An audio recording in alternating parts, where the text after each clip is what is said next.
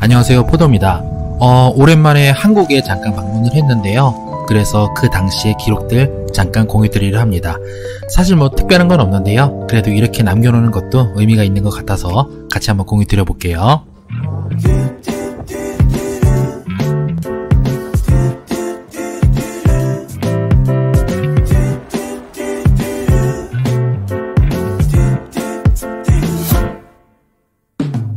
조금 더 가까이 다가와줘 그대. 이대로 내 곁에 머물러줘 그대. 누가 뭐라 해도 괜찮으니까. 안녕하세요 포도입니다. 어, 오랜만에 한국에 갈 일이 있어서 공항으로 향하고 있는데요. 공항에 도착하자마자 조금은 놀랐습니다. 어, 티켓팅을 위한 줄이 굉장히 길었거든요. 그래서 아주 오랜 시간에 걸쳐서 티켓팅을 마치고 나왔더니 그것보다 훨씬 더 긴 보안 검색대 줄이 있었습니다. 그래서 사실 공항 내에서 굉장히 시간을 많이 보냈는데 그래도 한국 향하는 발걸음이다 보니 기분은 굉장히 좋았던 하루였습니다. 안쪽으로 들어와서 잠깐 면세점 쪽을 봤는데요. 주위에서 도쿄 바나나 구하기가 그렇게 힘들다 라는 얘기를 많이 들었는데 이날은 운이 좋았나봐요. 도쿄 바나나 재고가 굉장히 많았습니다. 그런데 아쉬운 건 음, 공항 라운지는 여전히 아직도 열리지 않았습니다. 그런데 솔직히 너무 줄을 오래 서다 보니까 라운지에서 쉴만한 시간도 없었어요. 어쨌든 그렇게 해서 항공기를 타고 한국으로 갈 수 있게 되었습니다.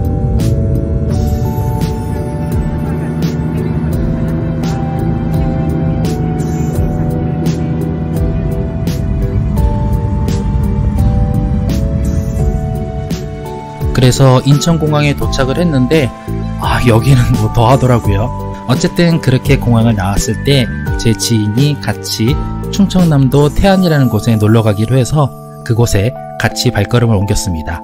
첫 번째로 방문한 곳은 카페였는데요. 사실 저는 뭐 카페를 많이 가는 사람은 아닌데 분위기가 굉장히 괜찮은 카페가 있다고 해서 그곳에서 조금 쉬면서 얘기도 하고 그간 나누고 싶었던 얘기들 많이 나눴습니다. 굉장히 분위기도 좋고요. 꽤나 괜찮은 곳이었던 것 같습니다.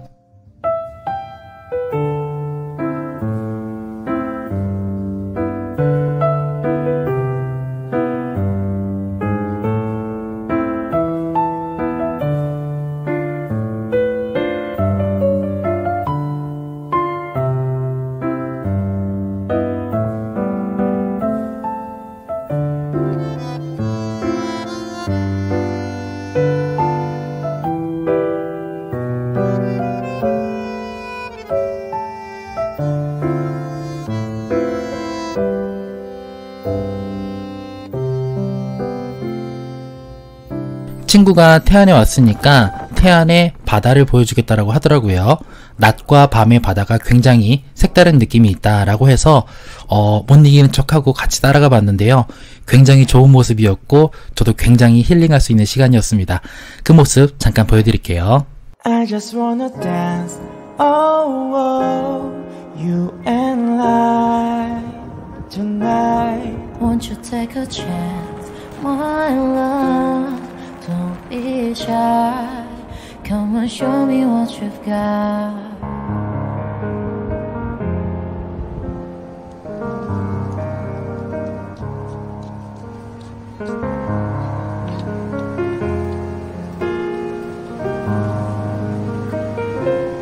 Baby girl, I know that you can get what you see in my world.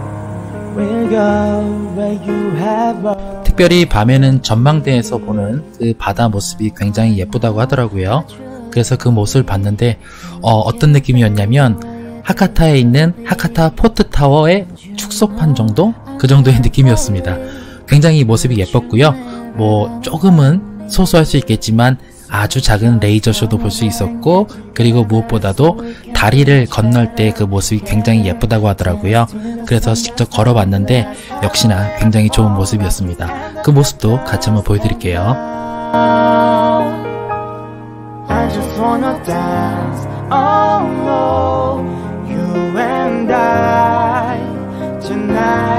Won't you take a chance, my love? Don't be shy. Come and show me what you've got, yeah.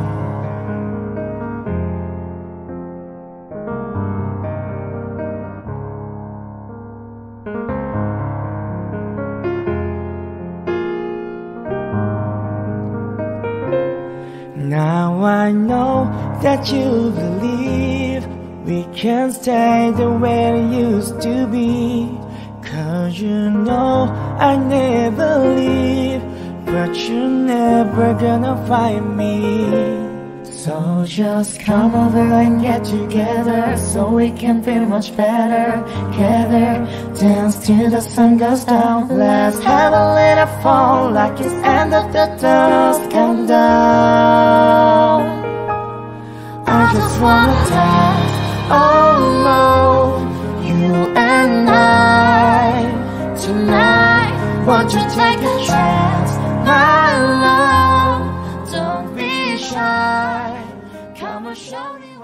그리고는 삼겹살을 먹으러 왔습니다. 어, 그런데 사실 삼겹살 일본에서도 흔하게 먹을 수 있긴 해요. 그런데 역시나 우리나라에서 먹는 삼겹살만큼은 아니겠죠. 그래서 굉장히 즐거운 식사를 할 수 있었고요. 그렇게 태안에서의 여행은 마무리를 했습니다. 수리남.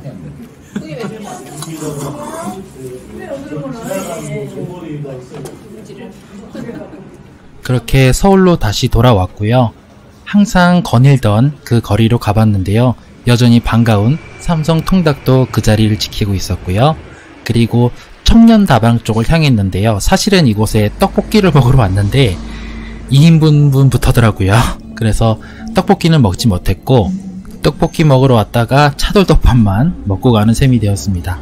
근데 뭐 사실 솔직히 말해서 한국 와서 뭘 먹든 간에 저는 그냥 다 행복하더라고요. 그래서 이 순간도 굉장히 맛있게 먹을 수 있었습니다.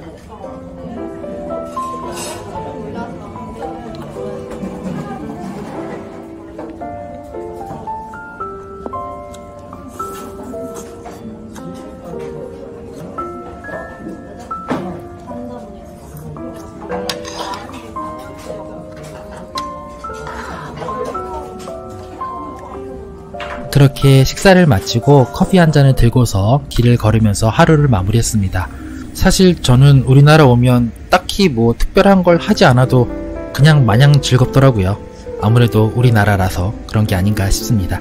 그러면 한국 브이로그 1편은 이 정도로 마치도록 하고요. 다음에 2편으로 다시 찾아뵐게요. 항상 건강하세요.